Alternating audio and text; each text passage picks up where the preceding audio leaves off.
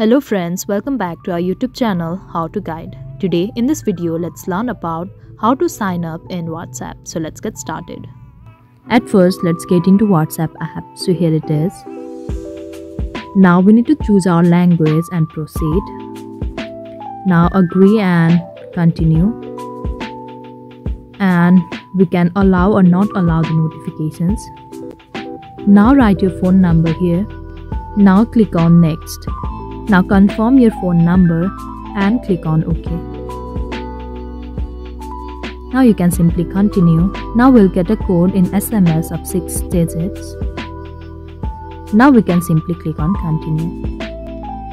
Allow or not allow the contacts. Now you can type your name here. Now click on next.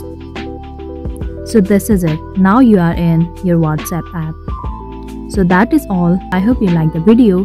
Please do like and subscribe. Thanks for watching.